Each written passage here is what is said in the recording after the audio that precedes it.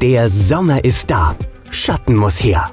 Ein Sonnensegel von Sonnenmax ist die Lösung.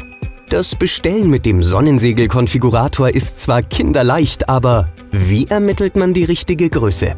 Zunächst muss Max überlegen, welche Befestigungspunkte möglich sind. Bei einem Viereck-Sonnensegel kann dies zum Beispiel mit zwei Befestigungspunkten an einer Hauswand und mit zwei Befestigungspunkten an freistehenden Masten montiert werden. Wichtig ist bei der Ermittlung der Maße, dass zunächst alle Befestigungspunkte vorhanden und bereits mit entsprechendem Zubehör montiert sind. Wir empfehlen mindestens zwei spannbare Befestigungsmaterialien, wie Wandenspanner zu installieren. Dies ergibt Raum für Toleranzen. Max kommt da eine Idee.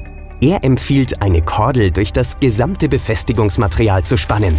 So richtet sich dieses auf und es entstehen die Konturen des zukünftigen Sonnensegels. Anhand dieser entstandenen Konturen kann Max nun die einzelnen Maße ermitteln. Zum Messen empfiehlt er ein Lasermessgerät, möglich wäre aber auch ein Zollstock.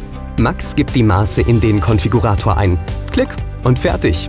Nun liefern wir das Sonnensegel bequem nach Hause und Max braucht es nur noch einzuhängen und stramm zu ziehen.